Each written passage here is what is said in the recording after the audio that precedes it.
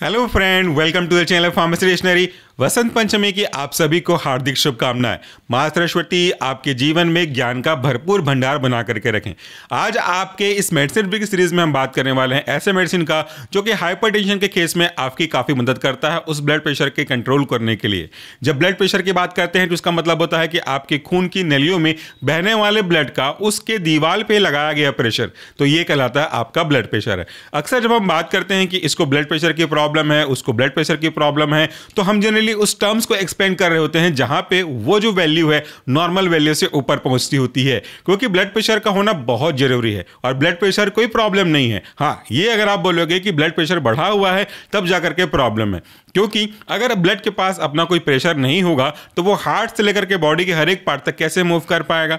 हर एक पार्ट तक पहुँचने के लिए छोटी छोटी नलिकाओं से लेकर के कैपिलरी ट्यूब तक जाकर के ब्लड को पहुँचना होता है। और उसके लिए चाहिए कि ब्लड एक प्रॉपर फोर्स में जा सके, और फोर्स को ही तो हम प्रेशर कहते हैं। इसलिए सरल सिंपल भाषा में कहूँ तो ब्लड का प्रेशर अगर 120 ट्वेंटी बाई एट्टी एम है तो इसका मतलब है कि ब्लड का प्रेशर नॉर्मल है। लेकिन अगर ब्लड का प्रेशर इन दो दिए गए वैल्यू से ज़्यादा होता है, और ये वैल्यू एक दो दिन के लिए नहीं बल्कि लगातार बढ़ी हुई नज़र आए तो अब के केस में हम बोलते हैं कि उस पर्टिकुलर पेशेंट को, व्यक्ति को ब्लड प्रेशर की प्रॉब्लम है। ये हो गया हमारा ब्लड प्रेशर का प्रॉब्लम का सिंपल सा डेफिनेशन अब देखिए कि मेरे हाथ में आज का टेबलेट क्या है और ये कैसे काम करता है। लेकिन उससे पहले भी हम देखेंगे कि आखिर ब्लड प्रेशर होता कैसा है। मेरे हाथ में एक टेबलेट है जिसका जो ब्रांड नेम है, वह आपका टेमीड्यूस एच। टेमीड्यूस एच को बनाने वाली कंपनी है आपकी मैकलोइड्स। और इसके अंदर का जो एक्टिव कॉन्स्टेंट है वो है दो। पहला है आपका टेलमिसाटन और दूसरा है आपका हाइड्रोक्लोरथायाजाइड। तो आखिर ये दो ड्रग क्या हैं, उन सब के बारे में देखेंगे। पहले ब्रीफिंग समझते हैं कि आखिर क्यों हमारा ब्लड प्रेशर बढ़ने लगता है।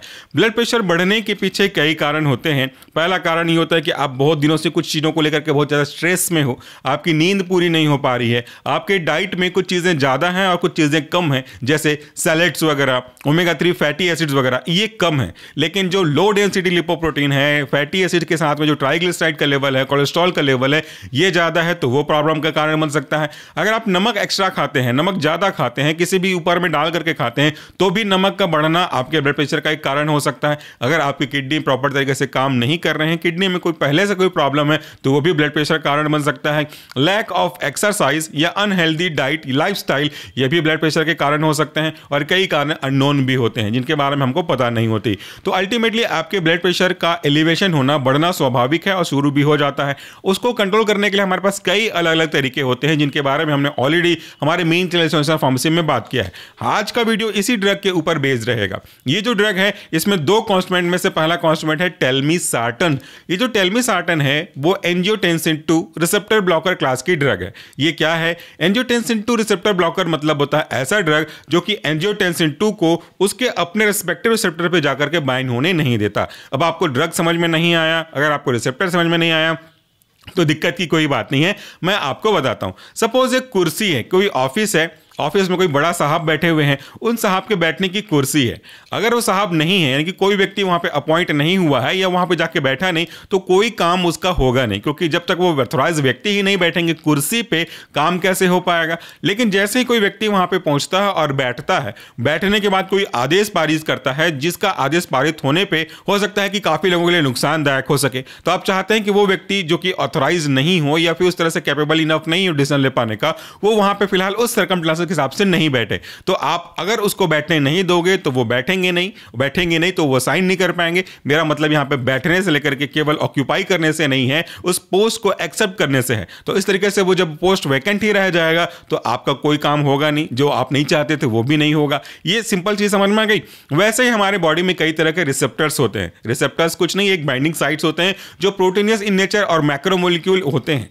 जब कभी भी कोई भी पर्टिकुलर रिस्पेक्टिव रिसेप्टर के ऊपर बाइंड होने वाले केमिकल या तो फिर ड्रग आते हैं तो वो अपने रिसेप्टर पे बाइंड करते हैं। तो जैसे ही एंजियोटेंसिन टू अपने रिसेप्टर पे बाइंड करेगा ना तो आपके ब्लड वेसल्स में थोड़ा सा आपको कॉन्स्ट्रिक्शन महसूस होने लगेगा। हार्ट का जो फोर्स ऑफ़ कॉन्ट्रैक्शन है, वो बढ़ने लगेगा और इसके कारण से आपको ब्लड प्रेशर की प्रॉब्लम झेलनी पड़ती है। और ये नेचुरली आपकी बॉडी में किसी कारण से होता रहता है। और अगर आप नहीं चाहते कि आपका ब्लड प्रेशर बढ़े तो आपको क्या करना पड़ेगा? जिसकी वजह से ये ब्लड प्रेशर बढ़ रहा था, उस वजह को ही ठीक करना पड़ेगा। तो वजह हमारा क्या था? एंजियोटेंसिन टू का अपने रेस्पेक्टिव रेस्पेक्टिव रिसेप्टर पे जाकर के बाइंड करना। यही तो वजह थी। तो अब हम चाहते हैं कि वो रिसेप्टर पे बाइंड ना हो पाए। इसलिए हम टेलमिसाटन का यूज़ करते हैं। और ये जो टेलमिसाटन की ड्रग है, उसको उसके रिसेप्टर पे बाइंड नहीं होने देता। रिसेप्टर को इस तरीके से ब्लॉक कर देता है। जब ब्लॉक हो जाएगा तो वो बाइंड हो नहीं पाएगा। और बाइंड हो नहीं पाएगा तो उनका जो कॉम्प्लेक्स बनना था, वो बन नहीं पाएगा। और उसके बाद आपका जो रिस्पॉन्स था ड्रग के रेस्पेक्ट में, उस सिग्नल के रेस्पेक्ट में, वो पूरा नहीं हो पाएगा। और आपका ब्लड वेसल कंट्रोल में रहेगा, बहुत ज़्यादा कॉन्स्ट्रिक्ट नहीं रहेगा और इससे हम आपके ब्लड प्रेशर को कंट्रोल कर सकते हैं। ये पहले वाली ड्रग के काम करने का तरीका है। इसमें दूसरा ड्रग भी है और दूसरा ड्रग जो है आपका हाइड्रोक्लोर थायाजाइड जो कि थायाजाइड डायबिटिक का एक एग्ज़ाम्पल है।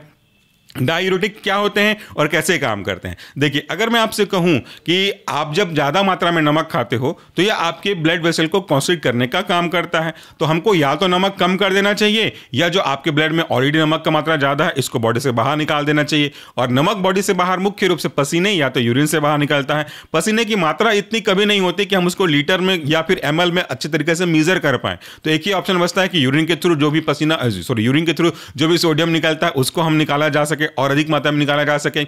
लेकिन अनफॉर्चुनेटली आपके कंट्रोल में नहीं होता कि हम कितनी मात्रा में यूरिन बनाएँ और कितने मात्रा में यूरिन को पास करें। तो हमको ऐसे ड्रग की ज़रूरत पड़ती है, जिसे हम वाटर पिल भी बोलते हैं, जो आपके यूरिन के फॉर्मेशन के प्रोसेस को फास्ट करता है बूस्ट करता है और उसके कारण से यूरिन को बॉडी से बाहर ज़्यादा निकालने का काम करता है। ऐसे ही ड्रग को हम बोलते हैं डायूरेटिक्स यानी कि ऐसे ड्रग जो यूरिन के फॉर्मेशन को इंक्रीज करते हैं सोडियम के रीएब्जॉर्प्शन को इनिबिट करते हैं वाटर के रीएब्जॉर्प्शन को भी इनिबिट करते हैं और इस तरीके से काफ़ी अधिक मात्रा में वाटर जिसके साथ सोडियम भी होगा, वो बॉडी से बाहर निकलता रहता है। तो जब ब्लड में से सोडियम पानी के साथ बॉडी से बाहर निकलेगा यूरिन के फॉर्म में तो ऑटोमेटिकली आपके ब्लड में सोडियम का लेवल कम होता चलेगा। और यही तो हमको करना था, और यही करने का काम आपका डायलिटिक करता है। इस पूरे काम को करने के कई अलग अलग तरीके हो सकते हैं, लेकिन मोटा मोटा जो मेन उद्देश्य होता है, वो होता है कि सोडियम के रीएब्जॉर्प्शन को इनिबिट करना। अब ये क्या है, मैं आपको वो भी समझा दूँ, ताकि कॉन्सेप्ट आपका क्लियर हो सके।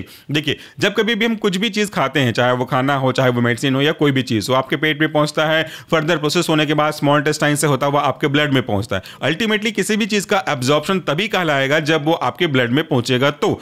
तो डाइट में लिया गया सोडियम अल्टीमेटली आपके ब्लड में पहुँचा। अगर ब्लड में सोडियम का लेवल ज़्यादा है तो आपका कॉन्सिक्शन होगा और हम चाहते हैं कि ब्लड में से उस सोडियम के लेवल को बाहर निकाला जाए। तो ब्लड को प्यूरिफाई करना पड़ता है और ये काम सौंपा गया है आपकी किडनी को। तो ब्लड वेसल में से ब्लड मूव करता करता करता करता आपके किडनी के पास पहुँचता है। किडनी यानी कि उसके अंदर का जो बहुत सारे सब यूनिट्स हैं, वह आपका नेफ्रॉन उसी से पूरा फिल्ट्रेशन होता है।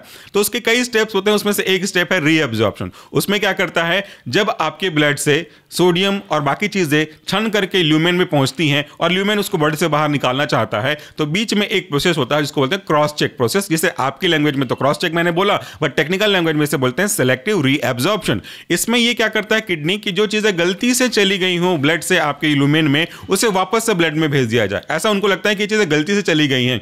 तो वो सोडियम को भी ये मानता है कि एक अच्छा इलेक्ट्रोलाइट्स है, ये गलती से मेरे पास आ गया है। अगर मेरे पास रहा तो आगे यूरिन के फॉर्म में बॉडी से बाहर निकल जाएगा। तो गलती हो गई हो तो मैं क्या करता हूँ, इसको वापस से ब्लड में भेज देता हूँ। तो ये अगर वापस से ब्लड में भेज देगा तो आपके ब्लड में से सोडियम निकलेगा कैसे? वो तो वापस वहीं पर वहीं आ गया। तो इस तरीके से ब्लड का लेवल, ब्लड में सोडियम का लेवल जैसा था वैसा ही रहेगा। और इससे आपको कोई बेनिफिट होने वाला है क्या? नहीं।